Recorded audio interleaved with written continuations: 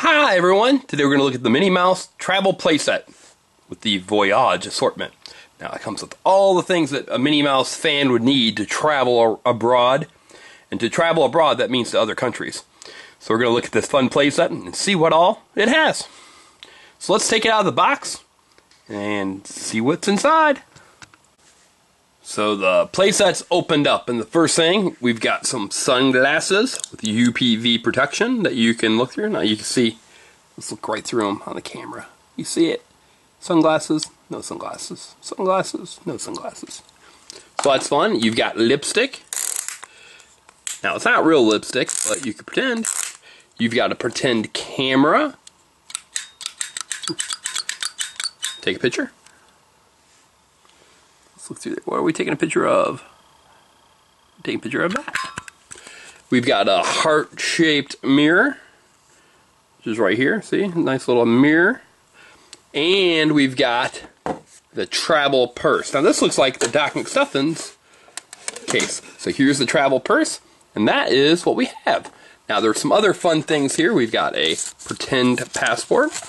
Hmm. And you've got some stickers that you could put on your pretend passport and you've got a pretend credit card with a pretend $100,000 pretend limit. So you can spend a hundred pretend thousand dollars, which is no money at all.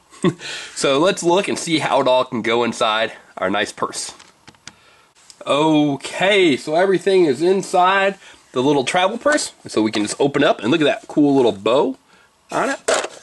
And we can open it up and get our passport right back out. And take out our camera and the credit card, and these cool sunglasses or shades, the mirror, and finally the chapstick. Now you could put other, or the lipstick, now you could put other things in there if you want to.